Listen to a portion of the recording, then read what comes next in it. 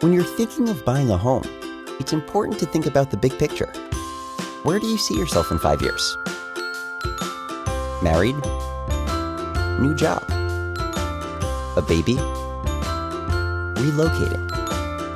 You'll want to make sure that adding a new home fits in with your long-term goals.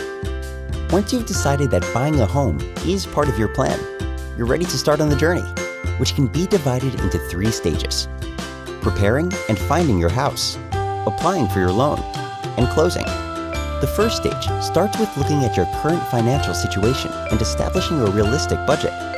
Robins Financial provides online calculators that will show you a clear picture of monthly income and debt, and will estimate the most you should spend on a monthly mortgage payment and the maximum amount you should borrow.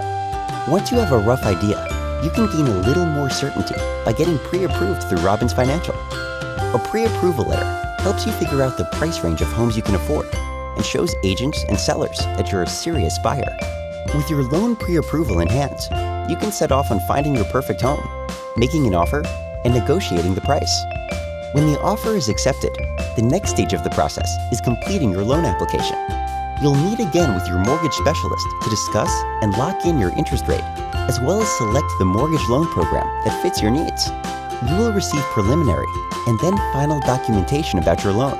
Be sure to review these carefully with your loan specialist. During this stage, you will also arrange an appraisal, set up your insurance, and finally, schedule a closing date. Closing is the final stage of the journey. Make sure you're aware of whether you or the seller will be paying closing costs so you can bring payment if needed. Also, be ready to sign several documents to finalize your home purchase.